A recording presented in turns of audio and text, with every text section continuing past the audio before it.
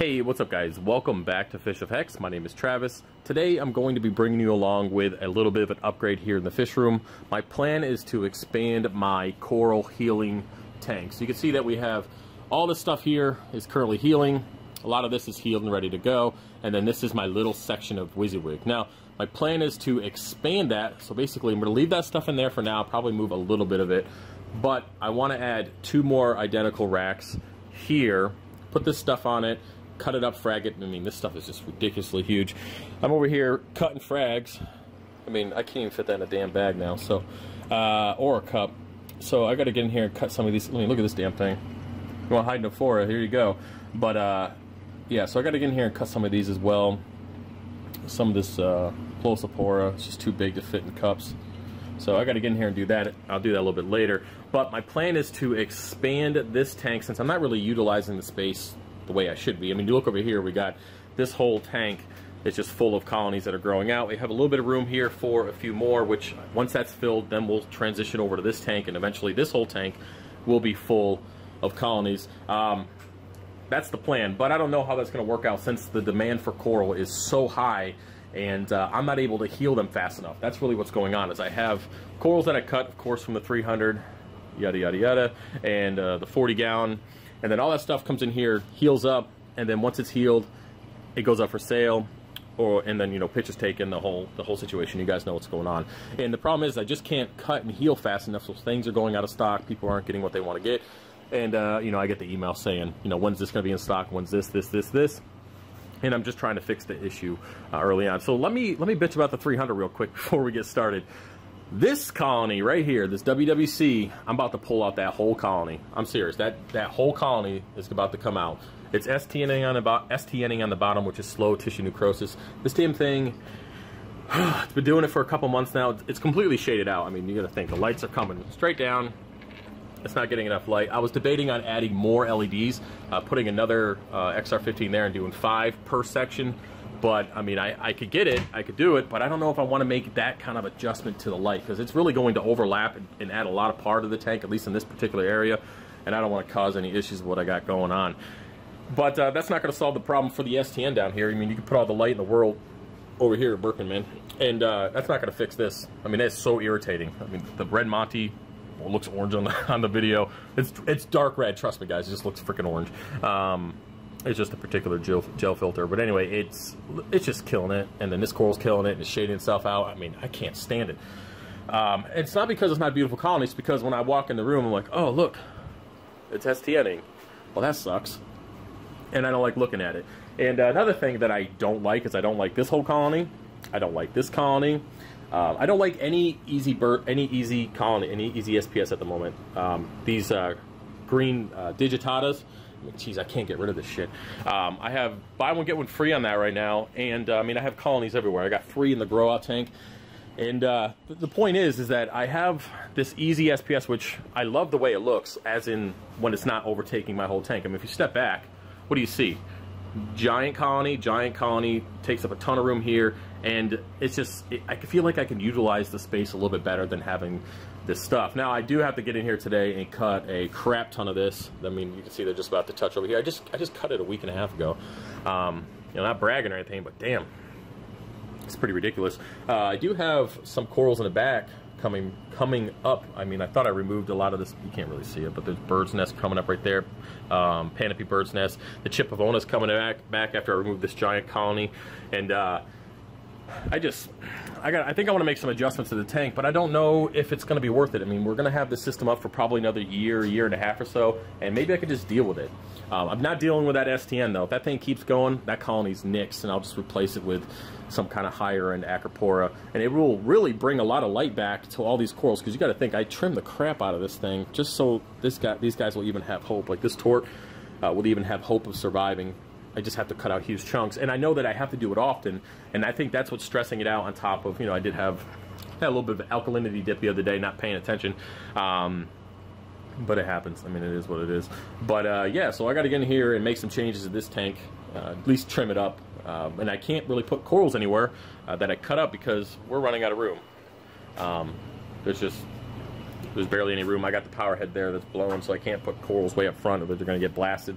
I can't put the power head up too high or it's going to cause uh, bubbles and it's just not going to work out well. Tips the frags over. So that's the perfect spot for it. So I have to add a rack over here and then I can really start cutting a little bit more. I mean, granted, the coil that's in here right now, after I make frags, of the frags are going to take up a pretty big chunk of the rack, or the new rack already, and I got to get in here and cut these guys up.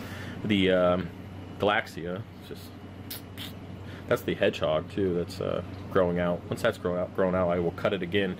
You guys will be able to get some of that. But um, yeah, so that's the plan for today's video. I'm trying not to bitch too much, but uh, yeah. So let's uh, let's go ahead and get started. Let me get the uh, other camera on so you guys can see without the gel filter. And I'll show you how we're gonna. I'll show you the the uh, rack holders. We'll set up the racks and we'll move all the frags and stuff over. So let's get started. Okay, so let's go ahead and get started with the egg crate. Uh, you can see over here, right there, we have two sheets of two foot by two foot black egg crate. I get this stuff from Bulk Reef Supply.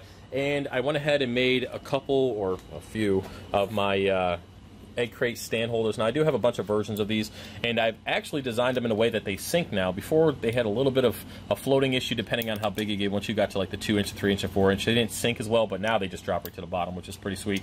Uh, they come with a zip tie holder there, and you can see that this is the one inch version. I just got to clean these up before we get started, and uh, yeah, so I sell a ton of these, and again, there's two versions of them if you're interested.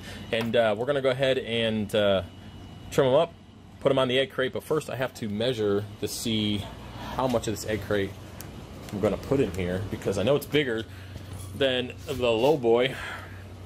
It is blue shit. All right, so we got there, there. So uh, probably just going to do the same length as I have in that one. That way the uh, power head will sit in the same spot. So I'll probably just cut it, oh boy, right here, uh, giving a little bit of room for wiggling around. Depends. Um, I'm going to double check and see how many uh, how big the other one is, and because that one's been working out pretty well. It doesn't move around too much. The cleanup crew seems to be able to move underneath because they are about one inch um, stop or feet on those as well, and uh, probably just do the same exact thing over here. So I'm gonna double check with that, and uh, we can get started.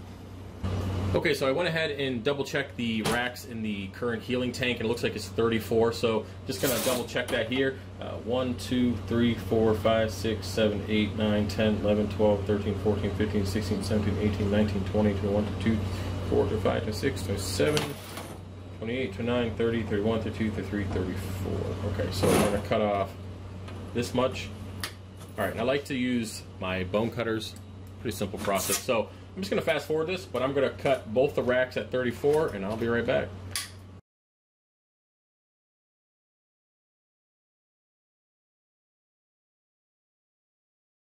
All right, so those are done. Now, just to prove that these things sink, let's go to move over to the frag tank real quick.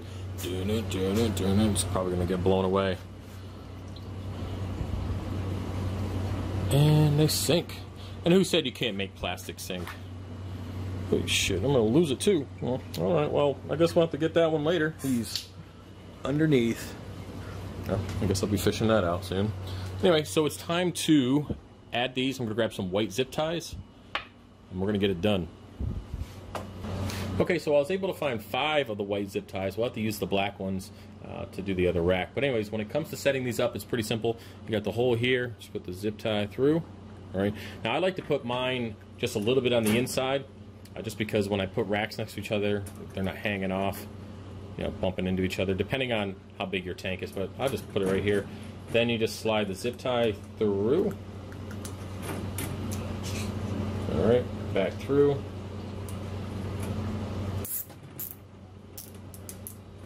And that's it. Done. come in here and give it a quick snip. Maybe not so quick. There we go. And then that's it. That's one. I'm just gonna do that for the rest of them.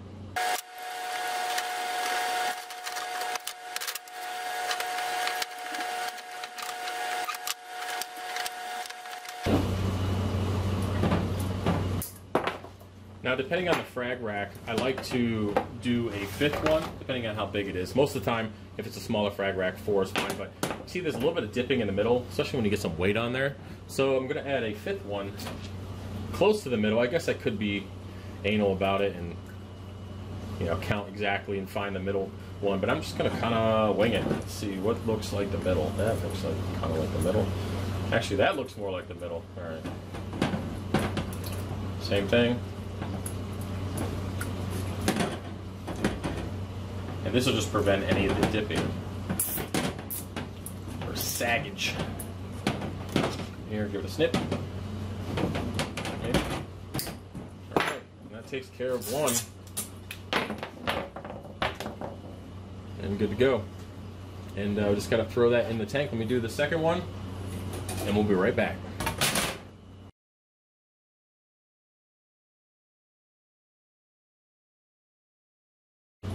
Okay, now that we're done with both of our frag racks, I'm gonna go ahead and get on the other camera, or turn on the other camera, and uh, pull out the current rack and the current coral. And um, I guess for the sake of this video, we can go ahead and also cut that coral up and frag it because um, I'm going to do it anyway. So we're going to remove all that coral, put these new racks in, start cutting it up, fragging it, and then put it back in there. And hopefully it'll look pretty good.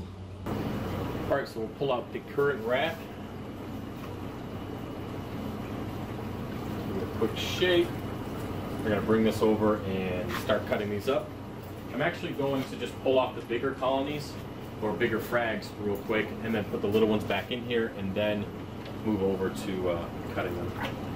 this Galaxea. Flow is a flowing.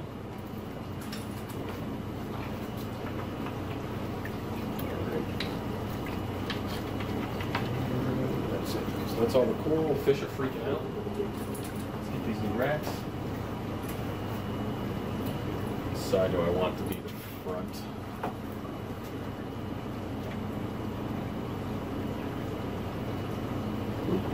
I've got too much flow going on in there, pushing the rack around. Oh, I gotta get the air out of that. Where I can do that? There we go. Get that out. Get the air out of this one.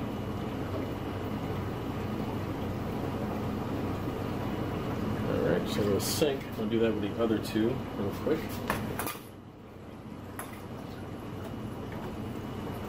good as they stay full of water, which is nice.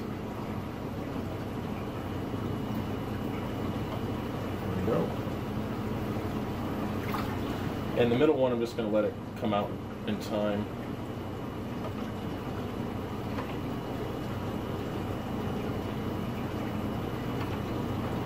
This would benefit if we had a small wreck. Yeah, I should probably turn the flow off. That thing is moving. Must be during its surgical. All right, so how do I want this to go?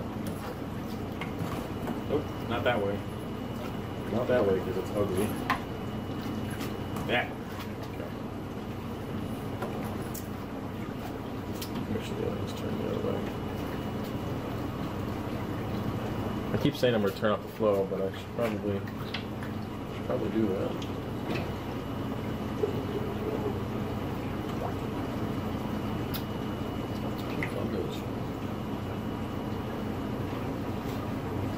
What I think I'm going to do is trim off just a tad bit, because I'm pretty sure I did that in the other one too before I connected them, is I trimmed off the far edge here. That way I can zip tie these two egg crates together because it's just a smidgen too big, just a tiny smidgen. I'm going to cut that off real quick and be right back. All right, so I'm back here and you can see that I cut off just one square along this strip to make it so I could fit both of these next to each other. I did end up doing that on the other tank. I didn't really realize that while I was thinking about it initially, but it's good to go. They're both next to each other and that's a lot of room for corals and uh, looks pretty good. So time to get over and start uh, cutting up frags, but before I do that, I'm actually going to uh, toss in the ones that are already at a decent size, and then just take the bigger ones over and take care of those. Okay, so I went ahead and took out all the frags that are too big to ship. Uh, either they're too big to fit in a cup, or they're just too big to go into a bag and can potentially punch a hole. Like this uh, hydrophore, hydrophoric can definitely uh, do a lot of damage to a plastic bag, uh, depending on how big it is. So I just got all the bigger frags out here. Got some uh, green uh, uh, digitata. We got some Panopy bird's nest or Pocillopora, and then of course a regular bird's nest in the Hydnophora. So we're going to go ahead and frag all these up on the saw, get them on new plugs, and then get them onto our new rack. So let's go ahead and get started.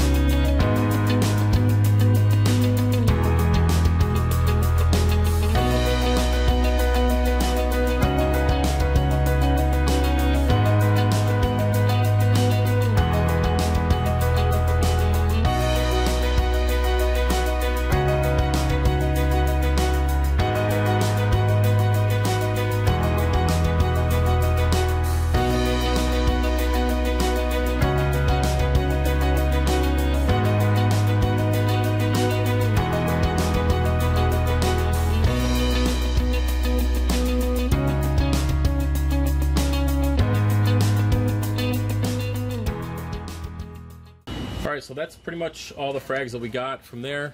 I'm gonna go ahead and put these back over to the, uh, or back in the grow out tank or healing tank, and then we'll frag all these up.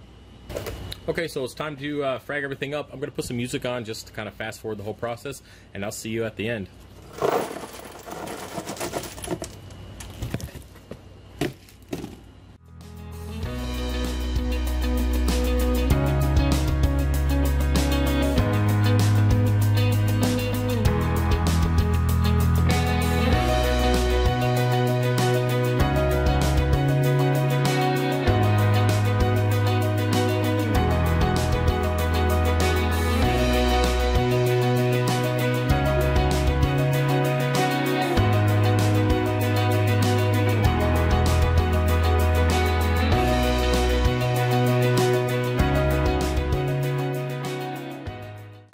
Hey guys, welcome back. So, finally finished everything. I put the coral back in the tank and it looks pretty good. Just turned the flow on and uh, no corals are getting blown over. It's at the same speed that it was before.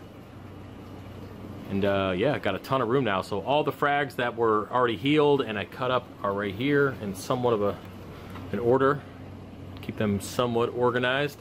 And uh, I went ahead and zip tied these two uh, egg crate racks together turned out pretty good. And that means I have a ton of room, or at least a two foot by two foot square worth of room that I can, uh, you know, cut some more coral. give you an idea of kind of how much coral that is. Blue 300. Basically this entire rack. So I could fit that many more frags cut, healing, and ready to go. probably going to transition a lot of this stuff over just so I can expand my WYSIWYG a little bit more, uh, make some more uh, 3D printed uh, display plugs, and just expand it to this whole, just do just one complete rack of just WYSIWYG. And then we'll do a healing rack and then two healing racks over here. So that'd be pretty much it for now. Uh, like I said, when I start getting more colonies, I'm gonna fill up the last 20 or so spaces here. Um, these are frags that are just being cut, uh, ready to go out uh, next week. They're just healing on these racks here. I get these racks from Geo's Reef, by the way. And uh, yeah, so when I get more colonies in, quarantine ready to go, we'll fill up this. And then depending on how many colonies come in, we'll start laying the tiles out over here. So we're just going to make, uh, make do with what room we have and keep this going until we build the new system. So that's about it. And as for the 300, I, I know I was kind of grumpy and bitching about it, but I do love the tank. I love that it, you know, provides, uh, you know, for the business and takes care of what I need for, uh, you know, bills and everything. It, it, does, it does what it needs to do. And, uh, you know, it's basically the channel really um, as much as I hate taking a colony out, I will take them out if I need to, especially if they're not looking good or they're kind of suffering because of light and all that good stuff. I will remove them, but overall, I really do love the 300. I love the entire system as a whole, and um, very thankful that I, uh, I have it. So that's about it for this video. I will see you guys later. All right, peace.